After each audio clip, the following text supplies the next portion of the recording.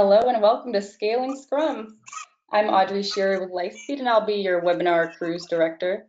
LitheSpeed is a group of trusted business agility advisors supporting lean and agile transformations worldwide.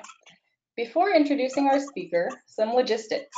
This webinar is being recorded and if all goes to plan, you'll receive a link to the recording immediately after it ends.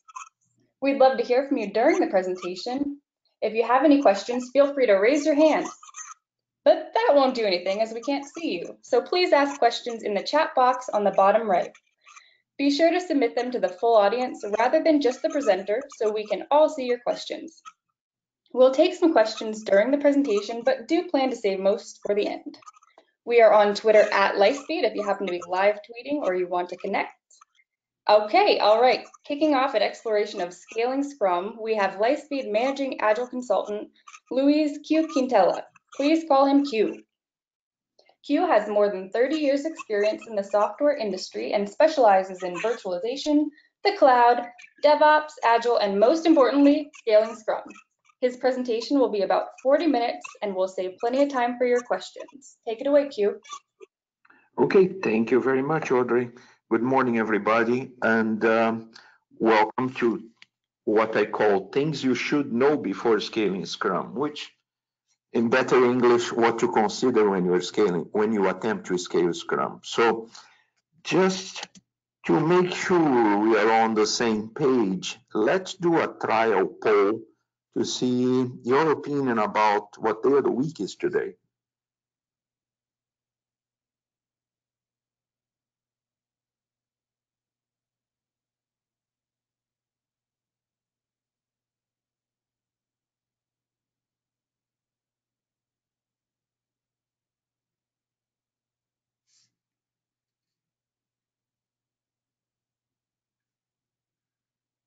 We still have a couple of folks joining, so.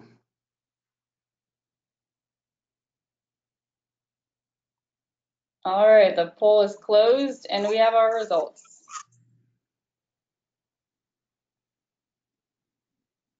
Hundred percent Friday Q.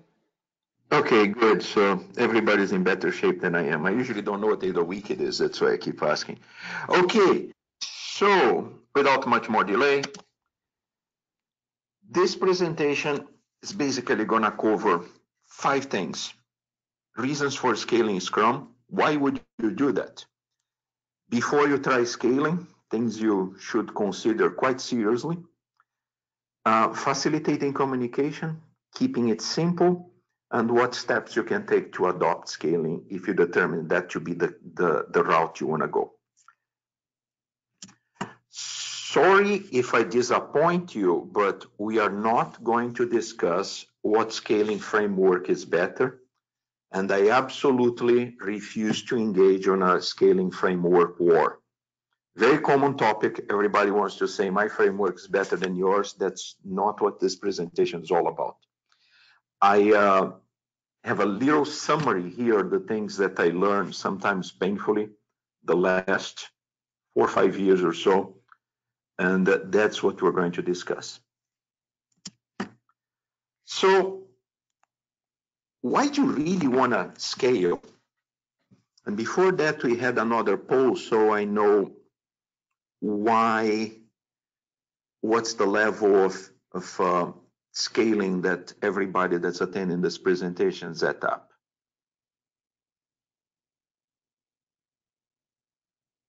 All right, a couple more seconds.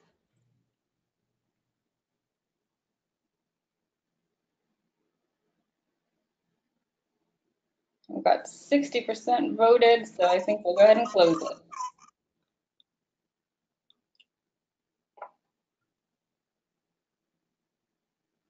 Okay, so what we have as results, Audrey, if you would like to read them back. Yeah, so we've got 44% not scaling Scrum currently, 11% plan to scale in six months, 22% within the next year, and 22% currently scaling Scrum with some issues. Okay, excellent. So the two main reasons we scaled Scrum is we want to complete functionality more rapidly So we want to apply more teams to work to the product backlog and hopefully get that backlog completed faster than we would otherwise. Or in some cases, we need to apply more people for a few sprints to accommodate some demands that only one team cannot take care of in a reasonable amount of time. So sometimes it's it's a temporary scaling, you know, having more resources and people apply to a project or a product. And sometimes it's a permanent solution. You have uh, always a high volume of items on the backlog, and uh, you decide that would be better served by multiple teams working in it. So those those are the two main reasons we we do scaling. Now, after that, there are some interesting considerations. One is there are three things about scaling: the good, the bad, and the ugly.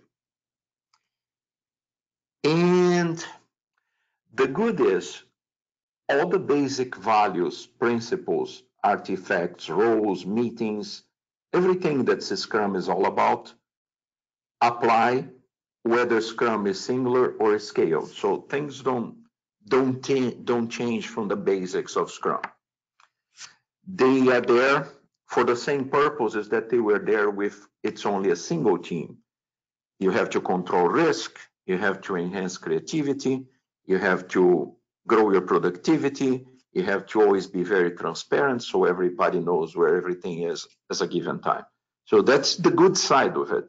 Everything is pretty much what you know, just at a larger, pun intended, scale. Then we have the bad part. The more teams you put working together, obviously you're going to increase the number of interactions, complexities, and events. There'll be a lot more of those things, right? when in a team we talk on average five, six, seven people, some large teams may go up to nine. That's a lot of communication. Well, then you multiply that by multiple teams. So events tend to be larger. There's a lot more complexity that gets added to it. Then the ugly part the relationship between productivity and creativity is never linear. So it's a common assumption that people make in the beginning. I made that myself. Well, if one team is great, 10 is 10 times better. Um, it doesn't work that way because there's so much more complexity involved. Yes, you may get more output, but there will be a price to pay in complexity, in managing the complexity, in all the interactions that happen, etc., etc. So it's not linear. If you put a team that can do X amount of things, you put 10 teams, you're not going to get 10 times the output. So a product owner or whoever is making the decision to create a scaling uh, environment for Scrum needs to very be very careful about weighting the benefits and costs, the pros and cons. Is this okay? Is this gonna cost me more, but am I going to get significantly more? Yes or no? So those are the three things: the good, the bad, and the ugly. It's still Scrum, and uh, then there's the complexity, and then there's the fact that the relationship is not linear. Okay, whether or not you are scaling, I recommend you consider these things. Those are common dysfunctions that happen in single teams, especially when they are not mature, and they'll be very much amplified if you scale without preparing properly to do so. The first one is vision and priority. It's a very, unfortunately, common situation where teams lack proper business and technical vision, and the priority is constantly changing for each sprint.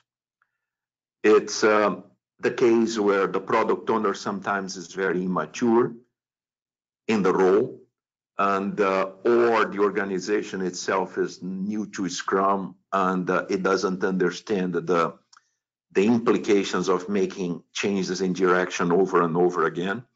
So these are very common situations, and I've seen in my experience they get quite worse the more teams you add there if you keep happening to have no clear vision and shifting priorities constantly. Priorities can shift, and it's a good thing in Scrum that you adapt quickly, but you have to be very careful how often you shift things around. The second thing to consider is velocity. We talk a lot about velocity in Scrum, right? Single team, multiple teams, everybody talks about velocity. Two points that are very common, a dysfunction in a single team and get amplified quite often is the business, quote unquote, they do not believe they're getting enough value from the teams. Well, whatever they produce is not enough. Then it's very common, unfortunately, that someone, whoever the someone may be, comes with some bright ideas like, oh, let's start a competition between the teams and, and uh, we can reward the team with the highest velocity. Uh, obviously, I don't think I need to explain to anybody how bad this can turn into. Quality, it's a major issue in single teams and get amplified the more teams you have working on a product. They finish the sprint, but then we have a lot of technical debt that get generated. It can be just bugs, and even if you don't have bugs, you have poor design choices. I mean, performance issues, um, unable to scale up a system and things like that. But by God, we got everything done by the end of the sprint. Dependency hell,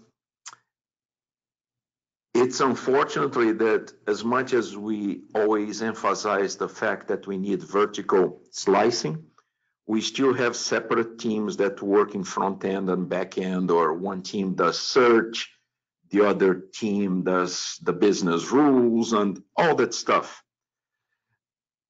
That is going to cut through different components and uh, and uh, it creates lots of dependency. The back end team cannot do much if the front end is not ready, and then the front end team are waiting for the back end team to finish.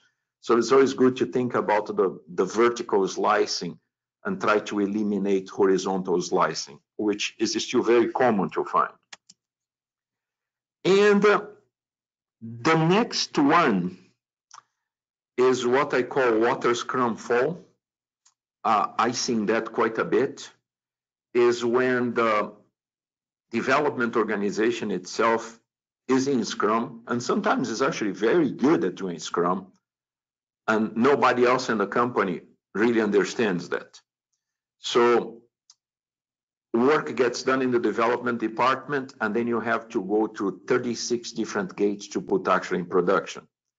So it's it's a situation that again gets magnified quite exponentially when you have multiple teams working in a, in a product. So those are single team dysfunctions, but they're very, very enlarged when you have multiple teams. Speaking of considerations, I always like to remind people this. The larger and the older an organization it is, it's very common to find, a we just need more bureaucracy on top of every bureaucracy we have because, well, we have more teams. So we have to guarantee that uh, everything is in place and uh, let's put another couple layers of management and bureaucracy here. I will cover this a little bit down the road, but I think you always should think about descaling things, you know, simplifying bureaucracy the simpler it is, the easier is to get results. But again, that's a common problem in all older organizations and large organizations. So what's the scaling? Well, scaling Scrum, scaling Agile, any kind of scaling, it's about facilitating better communication. Your whole target is to facilitate communication between the teams, between everybody that's involved in the process. And always remember that when things go wrong in any kind of relationship, it's usually because communication failed. So if you want to be successful in adopting a scaling solution, make sure that your first and utmost priority is to have efficient lines of communication. So what is Q talking about?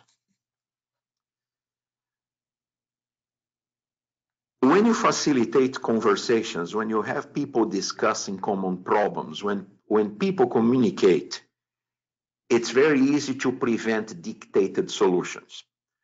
If you don't have communication, somebody is going to dictate ways of doing the work, ways of doing the architecture, ways of accomplishing tasks, and that just creates a plethora of problems down the road.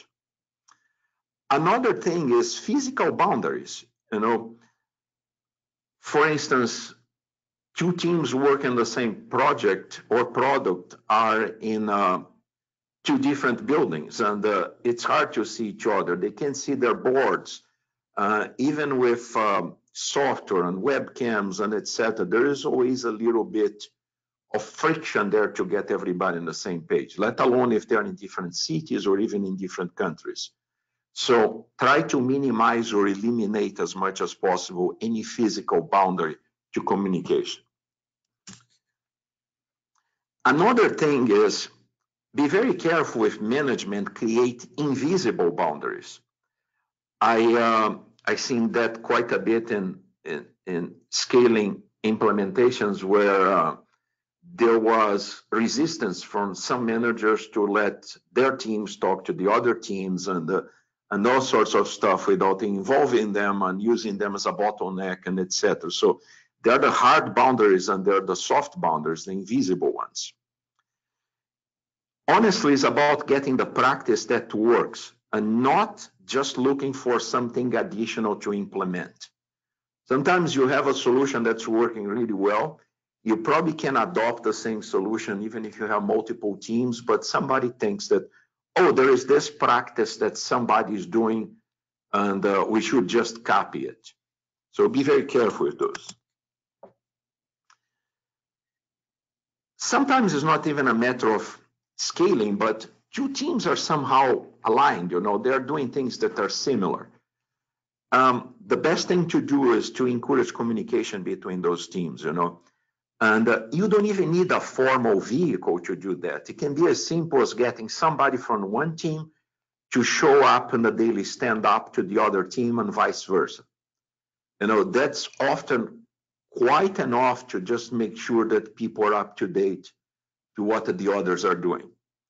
Uh, informal communication vehicles are always preferred to create structures of communication that tend to bind people to a certain way to doing stuff instead of just talking about it. Then when different teams are working the same product, think simple, a scrum of scrums, it's a very simple, very logical, very easy to implement solution.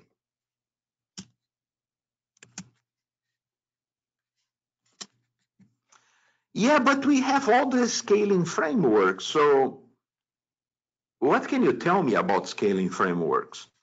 Well, like I said in the beginning, not a lot. And honestly, do you really need all those frameworks? That's something you should think very careful. I uh, know several instances. Last year, I actually assisted in, in a few of them when people chose a framework just because they trained a lot of people, they spent a lot of money, and in the end they found out that um, it didn't work too well because they had, for instance, those five dysfunctions that I mentioned in the beginning, or they could have done it a lot simpler, a lot cheaper, and a lot more efficiently. So that's why I don't talk much about frameworks. I talk about keeping it simple. A lot of organizations, the first thing they think is the framework. It's important to choose the framework. Uh, let's pick up the most famous one, the one that such and such person created, or this one or that one. And uh, is that really what you need? Don't you first have to think how people communicate in your organization? What's the best way to do things? And then you may not even need a framework. You may just need a simple solution like Scrum of Scrums. So think about those things. Don't give more importance to the framework than to the problem at hand, which is to make teams communicate. Another advice that served me very well for the past few years is try to descale things. Removing management layers, it's a big thing because those are obstacles to communication. It's not as easy, obviously, but it, it, it's an endeavored way taking. And uh, removing specialization, if you have specialization of any kind of uh, at team level or at role level, Scrum always talks about the T-shaped, right? That should apply everywhere. The more specialists you have, the more likely to have bottlenecks. When you scale, you're going to need some level of standardization. Yeah, there's no way you, you cannot have some level of standardization. Now, don't get to the point that is so prescriptive that the teams just they just blend in. They have no identity, they have no fun. All they are doing is following a prescription. Team happiness it's a must priority. If if if you look at the top, stand, over standardization or any attempt to curtail creativity in the teams is going to lead to people being unhappy. The health of the team is going to go down, and you're going to start creating many problems with that. So some level of standardization, it's key but be very careful not to prescribe so much that people lose their own identity and the team loses their own identity. They just become a jumble of teams. If you believe that you really want to scale, try Scrum of Scrums. It's a very simple thing for about a month, you know, or a couple weeks and then do a retrospective and see if that worked. Um, many times I went in places where I had these big frameworks and uh, they found out to their surprise they were actually trying to solve a different problem than what they brought the framework to solve. They had communication problems and uh, they thought that just putting a framework there of any sort of framework would make that better. It didn't. So Scrum Scrums is a very good step to start when you want to try out and see if scaling is for you. It's very simple, doesn't require much training. Uh, it's it's a very um, affordable investment, and uh, it, it, it's the best way to do your first trial. Again, going back to the specialization thing, it's better to avoid what I call component teams and then go for feature teams, meaning you don't have specialists. This team does front end, this team does back end. It's better to spread the wealth, sort of speaking, and have people in teams that can work in features and not specifically components. That can be also relatively easy to do. You can use techniques like pair programming to spread knowledge around. And there are several other things you can do, you know, community of practice, so people can share their experience and expertise and things like that. But move away from the component, from the from the hard structure, from the specialization as much as you can, as quickly as you can. You may find out sometimes that uh, a simple Scrum of Scrums does most of the work for you, but frameworks in general may have a couple ideas that you can adopt. And usually you can pick up a little bit of different ideas from different frameworks and um, a different combination of tools, things here and there that work for you, you know. And uh, it's a lot better than try to adopt a single solution that you think is going to work everywhere in your organization. So a little bit of flexibility may be the planning ways of one framework, the communication of Scrum of Scrums, the community of practice that's uh, emphasized by another framework. A little bit of all these things together, it's probably what's going to work best for you without having to invest heavily in training or, or, or solutions that can be quite expensive.